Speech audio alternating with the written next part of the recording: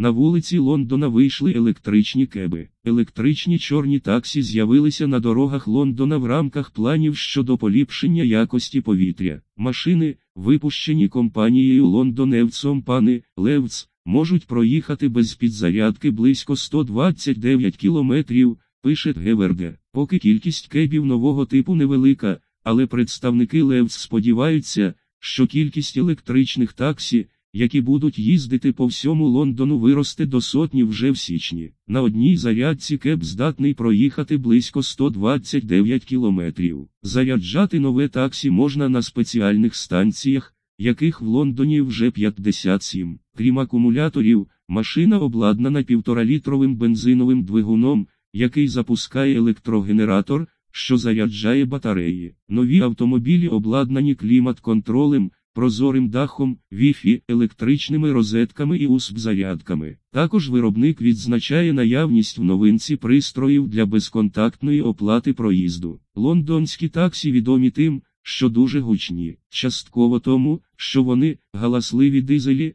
а почасти через дзвон в машині. На відміну від них, нові таксі дуже тихі. Ми в чотирьох сиділи ззаду і могли говорити не підвищуючи голосу. Таксі просторо і більше, ніж виглядає збоку. У нього шість місць місце для інвалідного візка, розповідають журналісти ГВРД, які вже протестували новинку. У той же час, критики проекту заявляють, що вартість нових електричних кебів змусить таксистів чинити опір нововведенню. Ціна таксі нового покоління становить 55 600 фунтів стерлінгів, тоді як бензиновий еквівалент варто всього 45 тисяч фунтів. За матеріалами сайту Newsgrakом.